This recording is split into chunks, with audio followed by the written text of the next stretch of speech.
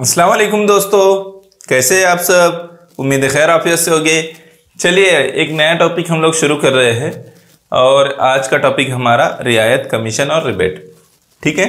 इसको discount rebate and commission English में कहते हैं। चलिए, इसमें क्या चीज़ है हम देखेंगे तो हम तीनों चीज़ों को एक एक समझेंगे। रियायत क्या होता है कमीशन किसे कहते हैं रिबेट क्या होता है। ठीक है?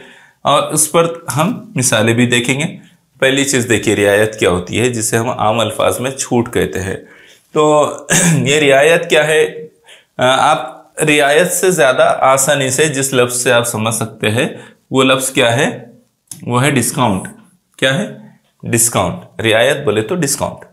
आप कभी दुकान पर जाते हैं तो कहते हैं कि भाई, ये सब चीज़ें ले रहे हैं, लेकिन इस पर स्टेशनरी वगैरह लेते हैं, किताबें लेते हैं, कुछ और चीज़ें लेते हैं तो आप डिस्काउंट पूछते हैं। है ना? कितना डिस्काउंट देंगे? कितने परसेंट डिस्काउंट देंगे? है ना? तो उस हिसाब से दुकानदार भी आपसे बात करता है पाँच परसेंट, चार परसेंट, दस परसेंट, जो भी है किताबों पर बीस परसेंट, चालीस परसेंट, पचास परसेंट तक मिल जाती है। ठीक है? तो इस तरह से इस पर बात होती है। अब ये रियायत क्या होती है? तो जो कीमत उस पर लिखी होती है। यूँ समझ लीजिए कि दो सौ रुपये की आप किताब खरीद रहे और दो सौ रुपये की किताब है। कितने की किताब है? दो सौ रुपये की किताब है। फॉर एग्ज़ाम्पल शाहराय ज़िंदगी पर कामयाबी का सफ़र एक किताब आप खरीद रहे बशीर जुमा साहब की किताब है, बड़ी प्यारी किताब है। ये जो है इस इस किताब में ज़िंदगी के कई अहम इसबाक और कामयाबी के कई बेहतरीन रास्ते बताए हुए हैं। रास्ते मीन्स उसूल बताए हुए तो उस किताब में, उस किताब को आप खरीदने के लिए गए। दो सौ रुपये की किताब दुकानदार ने आपसे कहा। आप बोलेंगे किताब का प्रचार तो नहीं कर दे रहे, प्रचार नहीं कर रहा हो। जस्ट जहन में आया तो आपको बता दे रहा हूँ। तो दो सौ रुपये की किताब है, समझ लीजिए फ़र्ज़ कीजिए, ये भी मुझे पता नहीं एग्जैक्ट कीमत कितनी, फ़र्ज़ कीजिए दो सौ रुपये उस पर लिखी हुई कीमत है।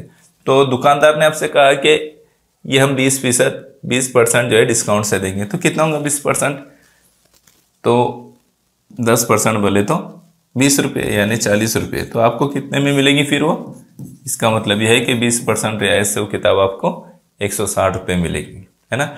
छपी हुई कीमत से जो के मुकाबले में जिस कीमत में फ़रोख्त करता है तो वो कीमत क्या कहलाती है? वो क्या कहलाता है? रियायत कहलाता है। यानी छपी हुई कीमत दो सौ थी, उसमें से जो है फ़रोख्त कीमत वो तफरीक कर देंगे। फ़रोख्त कीमत क्या करेंगे? तफरीक करेंगे तो जो बच जाएगा, वो क्या रहेगा? वो रियायत होगी। छूट होंगे, डिस्काउंट होगा। ठीक है? तो ये बात समझ में आ गई आपके?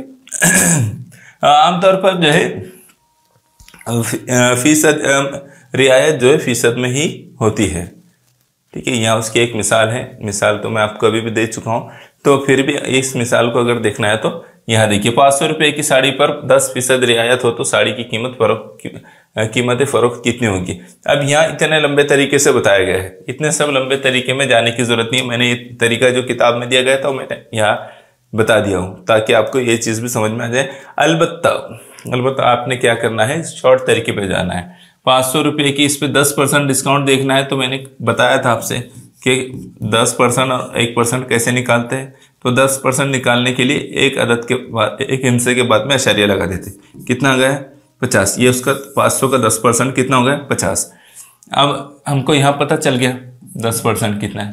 तो पाँच सौ में से पचास कट कर दो, साढ़े चार सौ। यानी कीमत फ़रोख्त कितनी रहेगी? साढ़े चार सौ। इतना सब करने की ज़रूरत है क्या? और अली हल हो जाएगी। ठीक है? पाँच सौ में से दस परसेंट यानी पचास कम करे तो साढ़े चार सौ रुपये में वो मिलेगी। फ़रोख्त क्यों? ठीक है? तो ये क्या है? ये रियायत है। इधर देखिए, आप कमीशन। कमीशन क्या है? तो किसी कारोबार में मदद करने वाले शख्स यानी दलाल को मेडिएटर भी उसको कहते हैं, या और भी कुछ अलग अलग अल्फाज उसके लिए एजेंट, कमीशन एजेंट भी उसको बोलते हैं। तो उसके काम के अवज में दी जाने वाली रकम को क्या कहते हैं? कमीशन कहते हैं। जैसे आप कोई प्लॉट खरीद रहे, ज़मीन खरीद रहे तो ज़मीन जिसकी है और जो खरीद रहा है, उनके बीच में अगर कोई आदमी इस काम में, इस कारोबार में उनकी मदद कर रहा है। मदद करना तो बोल रहे हैं, लेकिन वो अपना काम कर रहा है। तो वो जो काम करने वाला है, उसको बेचने वाले की तरफ़ से या खरीदने वाले की तरफ़ से, दोनों में से जिसकी तरफ़ से भी उसको जो अमाउंट मिलेगा, उस काम के आवाज़ में उस काम के बदले में तो वो क्या कहलाएगा? कमीशन कहलाएगा। क्या कहलाएगा? कमीशन ठीक है? इसको अड़त भी कहते हैं, दलाली या अड़त भी इसको कहते हैं। बात समझ में आई? कमीशन समझ में आया? इधर देखिए। इसमें कि एक और टॉपिक है इसका, तखफीफ या रिबेट। तखफीफ या रिबेट क्या है? तो यहाँ उसको लिखा गया है, मैं उसको पढ़ देता हूँ। इनकम टैक्स दहिंदगान को इंश्योरेंस फिक्स डिपॉजिट या बाद सरकारी स्कीमों में सरमाकारी करने पर इनकम टैक्स में जो रियायत दी जाती है, उसे तखफीफ कहते हैं। ये क्या है कि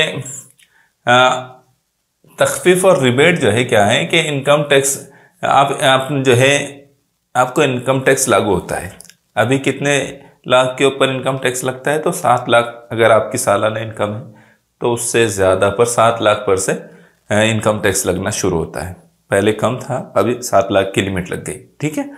तो सात लाख से ज़्यादा अगर आपकी इनकम है और आपने आपका इंश्योरेंस लिया हुआ है, कुछ और फिक्ड फिक्स डिपॉजिट में आपका खाता है है ना? आपका फिक्स डिपॉजिट खुला हुआ है या और दीगर स्कीमों में, सरकारी स्कीमों में आपके पैसे लग रहे हैं तो आपका जो है, आपको कुछ परसेंट में आपके इनकम टैक्स पर कुछ परसेंट कम हो जाते हैं।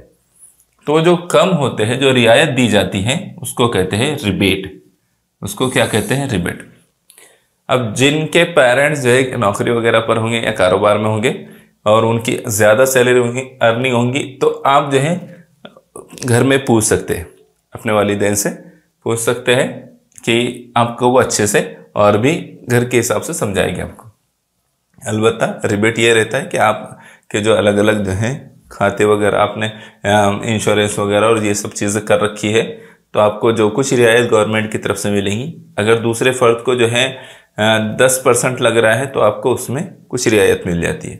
ठीक है? वो परसेंटेज के हिसाब से रहता है। इसी तरह खातन मुलाजमीन को मुलाजमीन को भी इनकम टैक्स में तकफीफ रिबेट दी जाती है। हैंडलूम के मसनूआत, खादी ग्राम, उद्योग वगैरह की मसनूआत पर भी तकफीफ मिलती है। तो यहाँ जस्ट ये इंफॉर्मेशन के लिए है। इसका अभी हमारे टॉपिक से बहुत ज़्यादा ताल्लुक नहीं है। ठीक है? अगला इसको देखिए। अब यहाँ से जो है कुछ सवाल की मश्क है।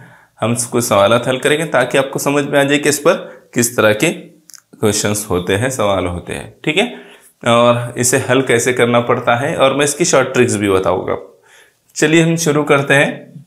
पहला सवाल, एक पंखे की छपी हुई कीमत पच्चीस सौ रुपये है। दुकानदार ने दिवाली के मौके पर बारह फ़ीसदी रियायत दी डिस्काउंट दी। तो बताइए, पंखे की कीमतें फरोख्त क्या होंगी? पच्चीस सौ रुपये का पंखा है। और आपको बारह फ़ीसद रियायत मिल रही है तो कितने में फरोख्त होगा वो पंखा? तो आपको मैंने तरीका बताया कि एक एक फ़ीसद या दस फ़ीसद कैसे निकालते हैं तो अभी हम एक फ़ीसद निकालेंगे, यानी दो अदद के बाद, दो हिस्सों के बाद में अशारिया लगा देंगे। कितना आ गया? पच्चीस आ गया। कितने फ़ीसद मालूम करना है? बारह फ़ीसद। तो पच्चीस को बारह से जरब करो, तीन सौ आ जाएगा। कितना आएगा? तीन सौ। ठीक है? अब पच्चीस सौ में से तीन सौ का डिस्काउंट मिल गया, यानी कितने कीमत हो गई? कितने में बेचेगा फिर वो आपको? बाईस सौ रुपये में बेचेगा, ठीक है? बाईस सौ रुपये उसकी कीमतें फरोख्त होंगी। क्या होंगी? बाईस सौ रुपये उसकी कीमतें फरोख्त होंगी। चलिए, अगले सवाल को देखिए, बात समझ में आ गई? इसमें बहुत जब्तों वगैरह में जाने की ज़रूरत नहीं है, एक परसेंट मालूम करो, बाकी का उस पर से हम मालूम कर सकते हैं। एक दुकानदार ने पाँच चीज़ें खरीदने पर एक चीज़ मुफ़्त में दी तो बताइए कितने फ़ीसदी रियायत हुई? पाँच फ़ीसद खरीदने पर, पाँच चीज़ें खरीदने पर एक चीज़ मुफ़्त में मिल रही है। तो इसका मतलब कितने फ़ीसद मुफ़्त में मिल रही है? ऐसा ओरली बोलेंगे तो आसानी से आप बता देंगे कि बीस फ़ीसद मिल रही है। है ना? कितने फ़ीसद मिल रही है? बीस फ़ीसद मिल रही है। अगर एक चीज़ को जो है सौ रुपये की माने और पाँच चीज़ें खरीद रहे हैं आप। ठीक है? कितनी चीज़ें खरीद रहे हैं? पाँच चीज़ें। तो पाँच चीज़ों, पाँच चीज़ें जो है आप खरीद रहे हैं, पाँच सौ रुपये की चीज़ में से आपको सौ रुपये जो है डिस्काउंट मिल रहा है। तो कितने कितने का डिस्काउंट मिल रहा है आपको? पाँच फ़ीसद। कितना? पाँच फ़ीसद नहीं बीस फ़ीसद आपको डिस्काउंट मिलेगा। ये वाला, ये ये तरीका सही नहीं इसको उस तरीके से नहीं करने की ज़रूरत है। ठीक है? इसको जो है डायरेक्टली आप करिए। पाँच चीज़ें अगर पाँच सौ रुपये की है और एक चीज़ जो है सौ रुपये की है तो कितने फ़ीसद होगा वो? कितने फ़ीसद? तो हाँ इधर इतने, समझ लीजिए इसको। वो हमने जो लिखे थे तो उसको मैं फिर से लिखता हूँ। अगर जो है, एक चीज़ सौ रुपये की है, पाँच चीज़ें जो हैं, पाँच सौ की हैं तो कितने फ़ीसद कितने फ़ीसद यानी सौ में से? ठीक है? तो ये ज़ीरो से ज़ीरो को काट दो। ठीक है? ये ज़ीरो से फ़ीस, कितने फ़ीसद? तो हमने उसको सौ से जर कर दिए। तो ज़ीरो से ज़ीरो कट गया, पाँच से ये भी कट गया।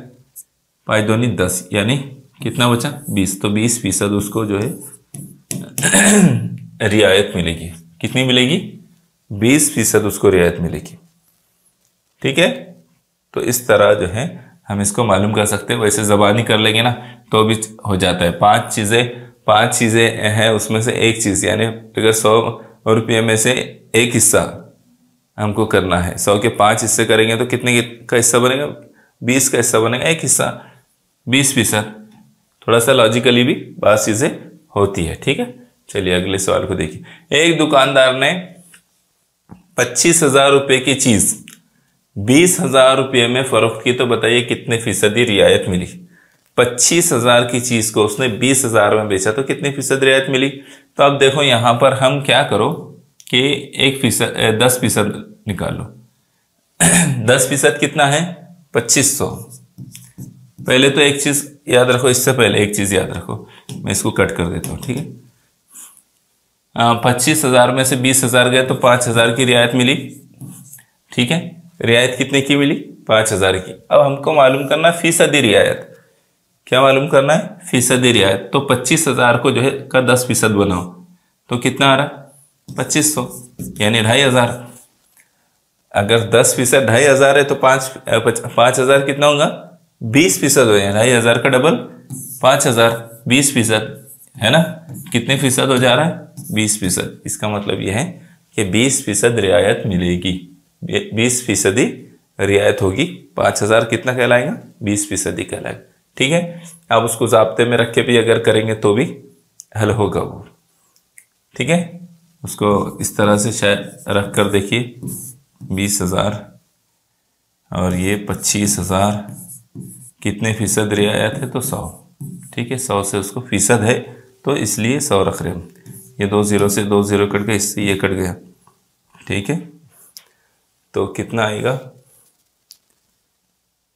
उल्टा रख दिया हमने, पच्चीस हज़ार की चीज़ को बीस हज़ार, इस तरह से रखना चाहिए था शायद। इसको यहाँ हमने क्या किए? रियायत लिखना चाहिए था तो रियायत की जगह हमने क्या किए? गड़बड़ कर दिया। इसको मैं कट करता हूँ, ठीक है? यहाँ देखिए रियायत इसको जबते के हिसाब से हल करेंगे तो क्या आएगा? फ़ीसदी रियायत ठीक है?